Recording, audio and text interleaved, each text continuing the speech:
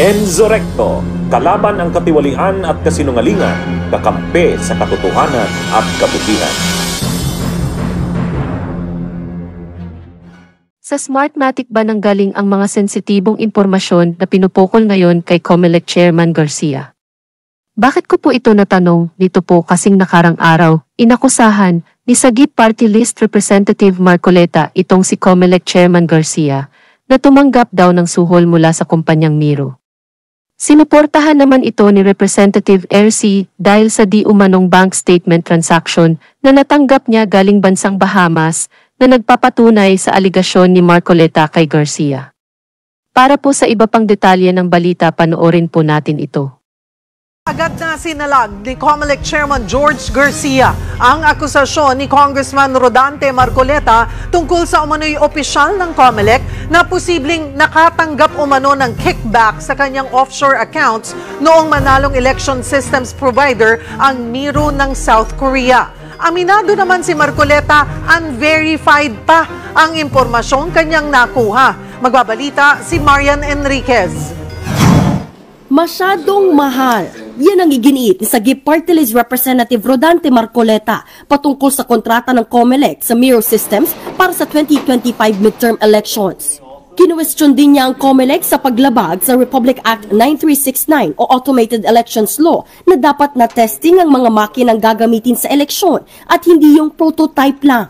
Sabi nila, why was it prototype? A prototype is a customized machine but not produced yet. 18 billion pesos. You signed the contract. There's already a notice of award without even presenting that these machines are the ones that we need. Nag-work ba yung hybrid? Eh yung nga yung separate applications, hindi nga nag-work. Bukod dyan, naglabas din si Marcoleta ng listahan ng 49 offshore bank accounts na konektado umano sa isang opisyal ng COMELEC. Ang mga depositor sa listahan mula umano sa South Korea. Mahigit 2.1 million US dollars o 120 million pesos ang mga dineposito mula June 22, 2023 hanggang March 2024. Marso rin ngayong taon nang manalo sa bidding ang Miro Systems na pag-aari ng isang South Korean company. There are total 18 banks and 49 number of accounts. Are you supposed to move sizable amounts of money globally, kaya kailangan mo ito. The most intriguing part here, ladies and gentlemen, is that this, these accounts are traceable to one COMELEC official. Hindi pinangalanan ni Marcoleta ang sinasabi niyang opisyal pero tingin ni COMELEC Chairman George Garcia, siya ang tinutukoy ng kongresista. Nako, huwag na po natin paikot-ikutin. Ako po yung nire-refer doon. Dalawang linggo na po kami may informasyon. Actually po nakaplano yung uh, demolition job laban sa COMELEC. Ngayon pa lang itinatanggi na ni Garcia na mayroon siyang mga bank account abroad. Uh, Diyos ang aking saksi, wala po ako kahit anong foreign account. Uh, napakataas ng respeto natin kay Congressman uh, Marcoleta, pero sana, katulad na itanong sa kanya kung verified, sabi niya, hindi naman po verified. So sana naman po, bago man lang sana makapagbitaw ng mga pananalita, sana ma-verify lang. Sabi niya pa sa programang Bangon Bayan with Mon, ni hindi pa nga siya nakapupunta sa mga lugar na sinasabing may offshore accounts. Hindi pa rin daw siya kinakausap ni Marcoleta tungkol dito. Pero sumulat na raw ang COMELEC chairman sa NBI para imbestigahan kung sino ang nagpapakalat ng maling impormasyon na sumisira sa kredibilidad at integridad ng COMELEC. Ang Miro Systems naman nanindigang palagi silang in good faith sa kanilang mga gawain. Allegedly opened on March 22, March 2022 under the name George M. Garcia is non-existent with Land Bank of the Philippines Intramuros Branch. Kinumpirma ng Land Bank of the Philippines na peke o hindi umiiral ang isang local bank account na pinadalhan umano ng pera mula sa South Korea na sinasabing para kay Commission on Elections o COMELEC Chairperson George Erwin Garcia. Kasama ang sinasabing account sa dokumentong natanggap umano ni dating Caloocan City Congressman Edgar Irice galing sa bansang Bahamas. Ito umano ay ipinadala lang sa kanya at binigyan niya ng kopya si Garcia kaninang umaga nang magpunta siya sa tanggapan ng Comelec sa Maynila. Nasa 15 million dollars ang kabuang deposito sa labing apat na magkahalong offshore at local bank accounts. Ito po yung natanggap ko na Bahamas Files kung saan uh, nakalagay po doon ah, na isang COMELEC officials ang nakatanggap ng milyong dolyar ah, sa mula sa South Korea allegedly from Miro at ah, ito ay meron pong 14 na foreign accounts ah, ang isang COMELEC official Ayon kay Chairman Garcia, malinaw na invento ang mga nasabing account o dokumento. Sa ngayon, sinulatan na rin ni Garcia ang ibang bangko na pinadalhan din umano ng pera. Ang ipinagtataka pa niya ng kanilang itrace, ang nagpadala at ang pinadalhan ay iisa ang number na pagmamayari umano ni Erice. Ibig sabihin, available na po sa Pilipinas noong June 30, yung mismong white paper na yan. Pero allegedly, galing sa Bahamas, pinadala ng July 1. So ibig sabihin, available na sa Pilipinas and yet may nagpadala noong July Sa tracking number ng dokumentong hawak ni Erice, lumalabas na galing ito ng Pilipinas at ipinadala sa bansang Bahamas na siya namang ibinalik ulit dito sa bansa. Kaugnay nito, naniniwala si Garcia na dapat na rin gumawa siya ng aksyong legal kaugnay ng lantarang paninira sa kanyang reputasyon at kredibilidad. Maghahain anya siya ng kaso laban kay Erice na falsification of documents pagkatapos na matanggap ang resulta ng investigasyon ng Anti-Money Laundering Council o AMLAC at ng National Bureau of Investigation o NBI sa issue. Napansin din ni Garcia na lahat ng dokumento na ibinigay sa kanya ni Erice ay halatang iisa ang font na ginamit na malinaw anyang iisa lang ang gumawa. ang nakalagay sa batas, yung may hawak ng isang falsifikado na dokumento ay presumed sa batas na siyang author ng falsifikadong dokumento. Ayon naman kay Erice, magsampa lang ng kaso si Garcia at bukas ay maghahain din siya ng petisyon sa Korte Suprema para i-cite in contempt si Garcia dahil sa pahayag nito kapag mabaliwala ang kontrata ng Miro at Comelec ay babalik sa mano-mano ang halalan. Ayon naman kay Garcia, hindi sila kailanman nagsalita sa merito ng kaso ngayon dahil nasa Korte Suprema na. Sa halip si Erice Anya ang panay na papreskon. Ang medyo ah, kabahan siya, yung kaso ipapile ng Comelec o ipapile ko kapag ka napatunayan kong fake lahat ng mga accounts na ito. Ngayon, ang tanong, saan galing ang mga impormasyon na ito na nakuha ni na Marcoleta at Eric? Papaano nila nalaman ang mga ganitong impormasyon? Ito ba ay galing sa Smartmatic? Kung sa tingin ko rin, Smartmatic yan. Smartmatic. Siyempre, masama ang loob ng Smartmatic. Eh. Ha? Masama ang loob ng Smartmatic. Imagine nyo naman, mula, mula 2010, ha, nang nagkaroon tayo ng simula ng automated elections, 2010, o every year may election tayo eh. 2010, 2013, 2016, 2019, 2022. Smartmatic lahat yan. Smartmatic lahat yan. Oh. Ngayon, bigla na wala yung Smartmatic. Bigla silang hindi pinaburan. Iba na ang pinaburan ni, Mar ni ng Comelec sa ilalim ni Garcia. Ito ng Miro. Ah? Okay. Ah, ano ano ang ano? Ano ang ano kasi ang totoo diyan?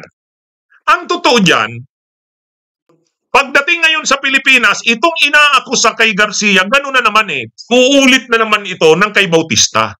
Yan ang akusasyon nila Marcolita at nila Erese. Mayroon dang mga mga account sa iba't ibang lugar sa mundo. Ang Comelec official na ito, tuto, magtutotal sa almost 1 billion ang pumasok na pera. Ano mga kabunyog mga kababayan? Ha? Ang pagkakaano lang dito, galing sa South Korea.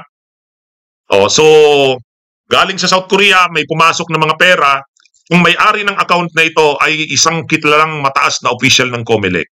Hindi nila pinangalanan. Pero nagsalita na si Garcia, siya daw yon. O, siya daw yon. Kaya lang ang sabi niya, patunayan daw nila Erese at Marcoleta. Sabi ni Erese at Marcoleta, mayroon kami mga dokumento. Ma, itong tinatawag naming Bahamas Files. O, nandito kung, kung saang mga bangko at saang bansa magkano ang pumasok. Ngayon, ang sabi ni ano, ang sabi ni Garcia, sinong nagbigay sa inyo niyan? Ang sabi ni Erese, pinadala sa amin. Hindi namin alam kung kanino galing to. O basta salamat at may nagpadala nito sa amin. Nauuso yung ganun ano. So ito, mayroon na namang nagpadala daw sa kanila. Ang sabi ni Garcia, hindi ako naniniwala dyan. Mga peking accounts siyang sinasabi nyo, kakasuhan ko kayo. O nagbanta si ano, nagbanta si Garcia, kakasuhan niya daw. Sabi naman ni Erese, ha? Ano, ang sabi ni Erese, okay, sige, kasuhan mo kami. O yun, so maghintay tayo ngayon. Anong mangyayari sa away ng mga ito? ha? O ngayon ang tanong ko na, kanino kayo maniniwala? Kay Erese o Garcia? Kasi ang sabi ni Garcia, hindi totoo yan. Hindi kami tumanggap ng suhol dyan o bribe. Paninira lang yan sa amin.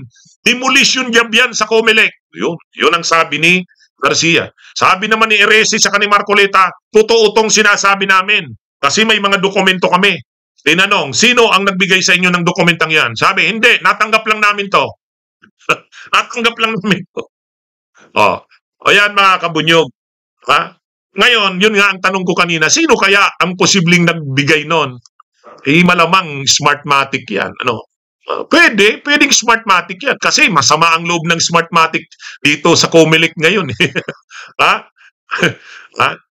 Ako mga kabunyog ang tatanungin nyo, ako, ang tingin ko dyan, seryoso yung mga alogasyon na yan. Dapat talaga sagutin yan ng Comelec. Ha? Ito namang sila Erese at saka sila Marcoleta, problema lang kasi dito kila Erese, lalo na yung si Marcoleta, hindi ka panipaniwala si Marcoleta eh. Pero, itong issue na to, ay kapanipaniwala. Ang hindi kapanipaniwala, yung nagsasalita. hindi natin alam kung anong agenda nila dyan. Hindi naman yan magsasalita si Marcoleta ng ganyan nang wala na namang nasa likod niyan. Sino kayang nasa likod niyan? O, yun ang tanong. Di ba? Ha? Yan yung ano eh. Ito, itong sila, itong sinasabi nilang issue na posibleng tumanggap si Garcia at ang Comelec, hindi malayo sa katotohanan yan. Yan na nga yung ano, malaking posibilidad yan. Kaya lang, ha, wala tayong ebidensya. Sila Irese ang may ebidensya, sila Marcoleta ang may ebidensya. Okay yon. Salamat sa kanila at nagsasalita tungkol dyan. Tema lang dyan, ang agenda nila at nire-raise nila yan, para ba talaga sa bayan? O baka naman mayroon din lang nasa likod nila. O, ang problema ng mga mayroon pa nasa likod nila, ibig sabihin hindi naman sa bayan talaga, kalalabasan yan sa bandang uli. Pag naariglo yan mga yan, napanahit, napatahimik na yan, titigil na yan. Wala na naman. Di ba? Di ba mga kabunyog mga kababayan? Yan ang problema sa mga ganyan eh. Oh, yan ang problema sa mga ganyan. Okay yung kanilang sinasabi okay yung kanilang issue. Dapat lang talagang uh, questionin yan. Totoo ba na nalagayan kayo? Kasi may mga dokumentong ganito. Pero ang tanong, seryoso ba si Eresi doon? Seryoso ba si Marcoleta doon? Baka naman mayroon lang grupo o mga personahe na nasa likod nila na nagpapagalaw sa kanila, magsalita sila. Di ba? Mga kabunyog, mga kababayan? Yan ang problema sa mga yan. Ah, dapat questionin at uh, papagpaliwanagin si Garcia at ang Comelec sa issue na yan dahil seryosong issue yan. Pero ang problema, itong si Marcoleta at si Erese, mapagkakatiwalaan ba sila? Totoo ba sila na para sa bayan? O baka naman mayroong nagpapagalaw sa kanila na kapag sinabihan na silang tumigil na kayo, okay na, wala na. Oh, di ba? Yan ang problema mga kabunyog, mga kababayan talaga. Ha? Mabuti sana kung mga tulad yan ng Makabayan Black, nila Franz Castro, o kaya nila Risa Hontiveros, hindi yun maaariglo. Totoo yun na para sa bayan. Pag mga katulad na kasi nito nila Marcoleta, wala, questionable na yan. Pagamat totoo, dapat talagang questionin sila Garcia dyan. Seryosong akusasyon yan.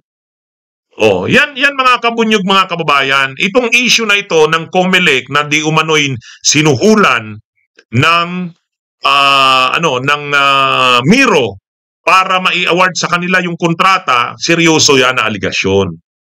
Tama lang talaga na questionin dyan sila Garcia at magpaliwanag sila niyan. Ang problema lang, itong sila Erese at Marcoleta. ha? Hindi ka panipaniwala eh. Wala akong tiwala sa mga yan. Hmm? Kaya hindi ako ganun kaano na, sige Marcoleta, sige Mar- Marcoleta, i-ano mo yan, hindi. Alam naman natin si Marcoleta eh. Baka nga markulekta yan eh. Yang mga, yang ganyan, markulekta, okay, totoo yung, ano, ano yung issue niya, totoo yung issue niya, seryoso yung issue niya, para sa bayan yon. Yung problema, dahil markulekta nga, baka naman mangungulekta lang. Di ba? Oh, yan yung, yun yung ma- mahirap diyan. Anyway, so yan mga kabunyog ha. Ano po sa palagay ninyo? Totoo po ba itong pinupukol ni na Marcoleta at Erisi laban kay Garcia. Or ito talagang si Garcia ay totoong tumanggap ng sohol sa kumpanyang Miro. At totoo bang galing sa Smartmatic ang pag-atake kay Garcia? Kayo na po ang humusga. Kulanong salita na ang ibig sabihin dito ay ang pagkakaisa. Bunyog Party List. Halika na, halika na, Bunyog Party List ka na. Halika na, halika na, Bunyog Party List ka na. Sa susunod, ang atinang suportahan, Bunyog Party List, nagtataguyod ng katotohanan, lumalaban para sa bayan.